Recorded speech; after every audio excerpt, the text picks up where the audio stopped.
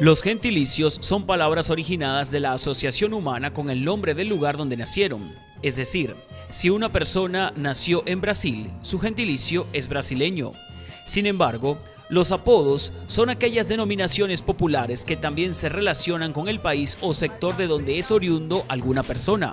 En este caso, a un brasileño popularmente se le conoce como carioca. En el caso de los centroamericanos no es la excepción.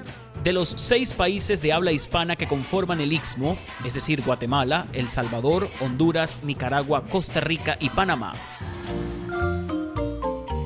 en el caso de Guatemala, a los nacidos en ese país se les apoda como chapines, y esto obedece, según datos históricos, a la cercanía del reino de la Capitanía General que dominaba en ese momento la colonia. Y es que los chapines eran una especie de zapatillas hechas en corcho que generaba una forma particular de caminar.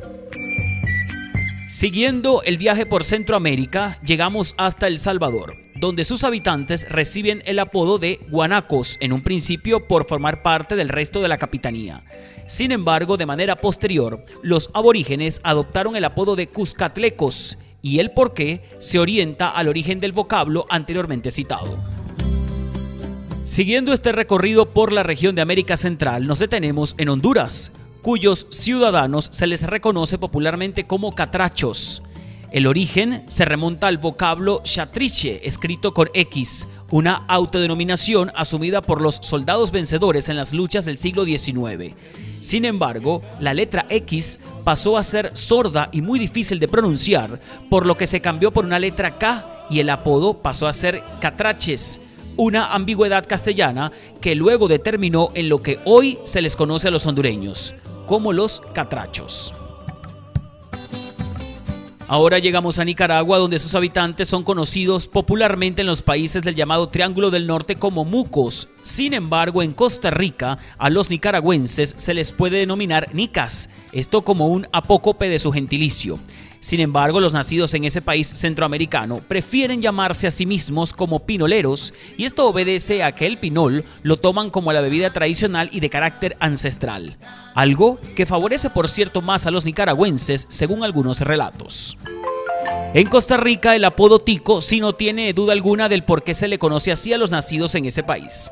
Resulta que para el costarricense existe una costumbre de achicar o hacer más pequeñas las cosas mediante el disminutivo tico o tica. Por ejemplo, algo chiquito para ellos es chiquitico o chiquitica. De eso se desprende el apodo por el que son conocidos internacionalmente. Finalmente llegamos a Panamá, un país que según algunas clasificaciones no pertenece a Centroamérica por haber sido parte de Colombia en tiempos coloniales. Sin embargo, los llamados panas, por el apócope de su gentilicio, panameño, dicen vivir en un país neutral e independiente del Istmo.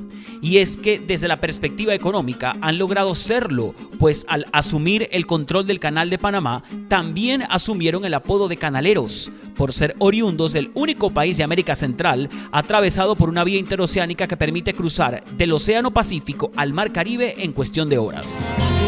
Es importante mencionar que aunque Belice hace fronteras con México y Guatemala y la cartografía mundial lo ubica como un país situado en América Central, el no ser de habla hispana los aleja un poco de las doctrinas culturales centroamericanas, razón por la cual solo se mantienen relacionados comercial y económicamente con el resto del Istmo.